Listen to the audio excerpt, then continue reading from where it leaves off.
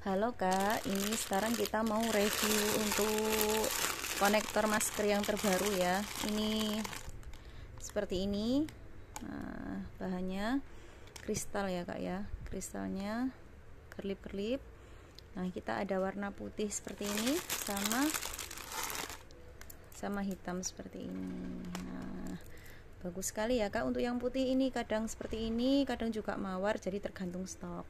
Ini bisa untuk konektor masker seperti ini bisa untuk gelang juga seperti ini. Jadi ini banyak fungsi.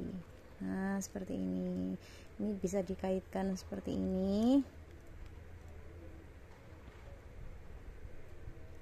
Nah bisa jadi gelang ya. Nah, seperti ini